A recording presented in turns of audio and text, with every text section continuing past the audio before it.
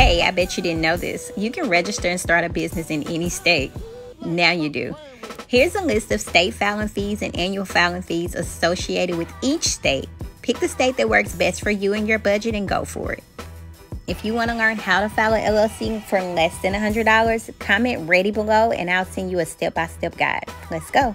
Okay, great video. And I have multiple LLCs in different states. However, you gotta realize that depending on if you're in LLC and you're not filed as an S corp or C corp, or depending on how you filed and where you live, you might still have to pay taxes of where you live. To be honest with you, if you're just starting up, you don't have a tax strategist to tell you how to set up all these LLCs and have a plan and be able to make sure that you're going to be good on taxes, then and that you're actually protected by those LLCs. What I highly recommend is just setting up at your home state because that's for sure the best and correct option. So if you're living in California, unfortunately, you're to have to suck it up and just pay it up, pay the filing fee. Again, why? Because then you're going to make sure that it's all set up correctly and that you're going to be able to register your business license. You're going to be able to get the business insurance that you need correctly. And you're not going to have be confused of where to go get certain things. And then you may mess up and then you might not be registered correctly to conduct business and where you're actually living. If you're going to start for the very first time, just file it in your state. I hope this helps.